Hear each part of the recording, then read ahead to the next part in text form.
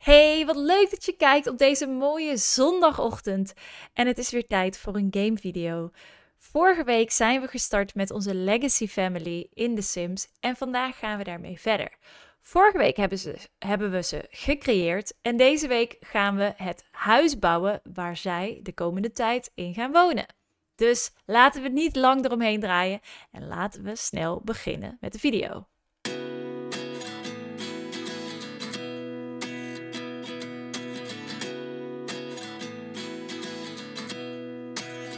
Voordat ik begin, wil je dan eventjes op het abonneerknopje drukken als je dat nog niet gedaan hebt. En vergeet niet de notificaties aan te zetten, zodat je nooit meer een video van mij mist. Oké, laten we beginnen. Omdat onze Linda schijnbaar een hoog startkapitaal heeft, hebben we echt een leuk, een leuk uh, beginbudget om even een tof huis te bouwen. Nou, hier gaan we dus ons huis bouwen. Wij wonen zelf bovenin het huis, denk ik. En onderin verhuren we twee units. Daar beginnen we mee. En voor deze video heb ik een prachtige voice-over bedacht. Um, aangezien ik altijd met bouwen helemaal in mijn eigen wereld zit en dan vergeet te praten. Dus ik dacht, ik neem het gewoon op en dan doe ik later gewoon lekker een voice-over eroverheen. Uh, hier ben ik nog een beetje aan het kijken naar hoe wil ik het nou eigenlijk bouwen. En ik dacht, nee, een vierkant is te saai. Laten we even wat leukers maken. Dus dit leek me wel leuk dat dit zo de entree wordt. En dan is dit um, de, onze trap naar boven, naar ons huis dus. Uh, ons noem ik eventjes Linda en, nou ben ik zijn naam even kwijt. In ieder geval de koesjes uh, wonen boven en onderin is dus het huis, uh, of ja, het verhuurgedeelte. Ik heb het een beetje aangepakt als een, um, hoe noem je dat? Een, um, nou, dit is de bovenverdieping. Ik heb het aangepakt als een hotel, maar misschien dat ik daar nog even veranderingen in ga brengen. Dat het later uh, wellicht uh, gewoon echt huizen zou worden die ik verhuur. Ik zag het dus helemaal voor me. Ja, dit was voor kerst dat we dit opnamen dat ik dit opnam. Uh, deze voice-over is dan weer later, want die komt tegelijk met de edit. En ik zag het helemaal voor me dat het een soort serre aan de voorkant is met allemaal ramen waar ik dan een prachtige kerstboom in de, met kerst kan zetten. Um, maar we beginnen in herfst in deze playthrough. Dus uh, dat komt. Op dit moment heb ik er dus nog geen kerstboom staan. Um, of dadelijk aan het eind. Maar dit is een beetje hoe het uiterlijk van dit huisje gaat worden. Um, ja, de, die dak, het dak, dat is altijd een ding. Vind ik. Want ik vind het altijd saai. Maar aan de andere kant is het wel heel veelzeggend voor een huis. Ik zat ook een beetje te twijfelen over welke details. Ik vond dat rode, donkerrode, een beetje mahogany. Dat vind ik heel mooi. Maar er zijn dus heel weinig ramen met die kleur.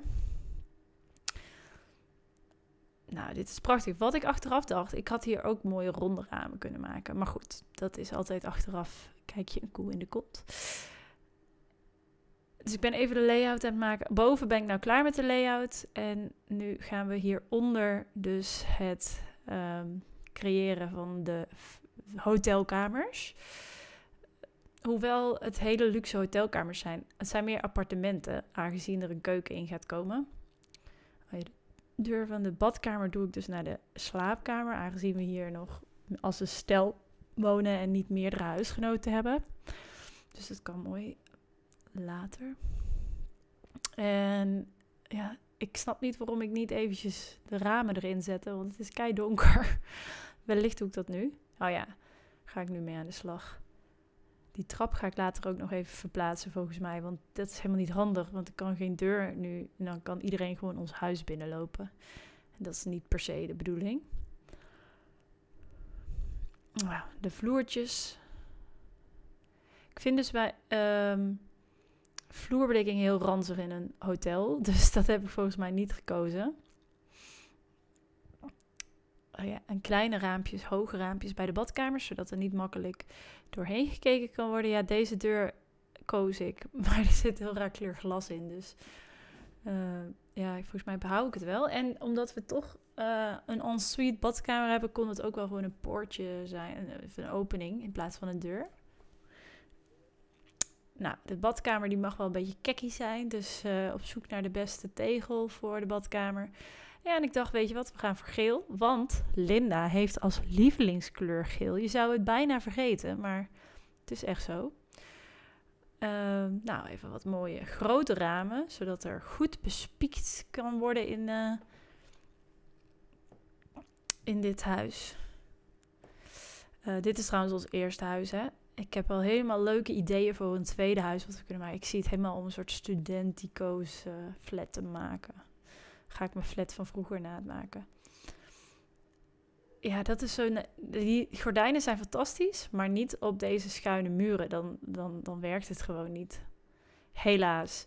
Dus dan moeten, ja, volgens mij heb ik gekozen om daar helemaal geen gordijnen uiteindelijk te maken, geloof ik. Nou ja, eh, het thema is groen en het idee daarachter was dat ik ehm, ergens vroeger in een blad heb gelezen. Nou, als het de Donald Duck is of Tina of zo. Een, een van dat soort bladen stond dat als je groen behang had, dat dat dus giftig kon zijn. En dat vond ik wel een mooi idee voor een hotel. Dus vandaar deze uh, keuze voor groene meubels. En uh, de badkamer is een beetje in gebroken wit, meer crème-achtig. Wat ik een beetje viezig vind, maar het moet ook allemaal niet perfect zijn voor de. Um, hoe heet dat? Uh, voor een hotelkamer.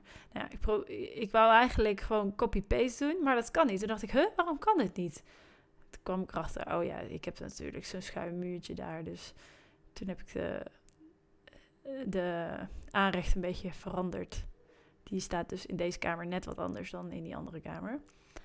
Maar het begint al aardig mooi te worden, vind ik. Het heeft al een beetje karakter. Uh, in ieder geval voor de beginsel. Hè. We willen natuurlijk snel veel geld verdienen en snel uitbreiden met veel meer kamers en uh, misschien een nieuw pand ook. Nou, dan waren we eindelijk aan de beurt om uh, ons eigen huis. Hadden we nog wel best wel wat geld over om ons eigen huis in te richten. Nou, waar die grote plant staat, daar had ik dus bedacht om uiteindelijk de kerstboom ongeveer te hebben. Dat je die mooi ziet vanuit de straat, bij die ramen. Um, nou, ik had zoveel geld over dat ik dacht, oh, ik kan best de dure dingen nemen voor de badkamer. Weet je wel, dat we gewoon al een van de best, betere douches hebben en toiletten. Zodat daar uh, niet veel fout kan gaan. En dan zijn ze ook een soort luxe ja, gewend. Hè? Hotelachtig luxe. Ja, er moet natuurlijk wel een wc-rol met gouden ding komen. En alles in de trant geel, want geel is Linda's lievelingskleur. Ik blijf het herhalen, maar vandaar dat het zo terugkomt. Dus je weet precies ook welke kant van het bed van Linda is. Onze dokter. Nou, even gauw een keuken. Toen kwam ik er wel achter dat ik iets minder geld had. Dus uh, uh, ja, dan uh, blijft er niet veel over voor fancy dingen. Maar ik dacht, ik vind hun wel van die kleurrijke types. Waar alles door elkaar mag. Dus ik ben all out gegaan met de kleuren. Een beetje in de groen-oranje type gebleven. En ik dacht, ah, we moeten nog wel eventjes een schaaktafel voor de inzichtbehoeftes.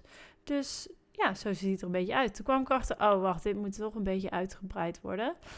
Uh, ja, dat heb ik dus even gedaan, zodat er een deur komt, zodat het ook niet gemeenschappelijk is, maar alleen van ons. Nou, toen moest ik even allemaal een naam geven en toen waren we er.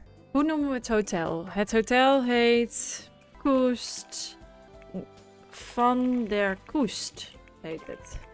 Dit is het huis geworden voor we hebben een gemeenschappelijke ruimte waar je binnenkomt. Daar heb ik nog helemaal niks in uh, aangebracht. Gedaan. Dan heb ik twee dezelfde units gemaakt. Bijna hetzelfde. Um, nou ja, keukentje hebben ze. Een bed. Badkamer. En dan boven hebben wij minimaal ingericht. Want we hebben nog niet zoveel geld. Uh, een leuke uh, vooraanzicht. Zo hier plant bij het raam. En lekker je schaaktafel, tv met een lekker bankje, hoekbankje. Nou, hier een hele ruime keuken. slaapkamer weinig in aangebracht. En uh, ja, de, de, de, badkamer is eigenlijk het uitgebreid. Hele goede spullen. Ik had gelukkig veel geld over na het maken van de... Dus ik heb geïnvesteerd in dure douche en toilet. Uh, nou ja, dat is dus hoe we het huis begint. We hebben natuurlijk een fantastisch startkapitaal gehad. Dus uh, hier gaan we mee verder borduren. Dan wil ik je weer bedanken voor het kijken naar deze video. Ik hoop dat je het leuk vond. We hebben nu een huis om de Legacy Family mee te starten. En de Legacy Family hebben we ook. Dus nu kunnen we gewoon van start. Ik zie jullie graag bij de volgende video. Op zondag komt er weer een game video. En dan gaan we echt starten met het verhuren van onze hotelkamers. Zo noem ik het maar even. Bedankt voor het kijken. Vergeet niet te abonneren en ik zie je bij de volgende video. Doei!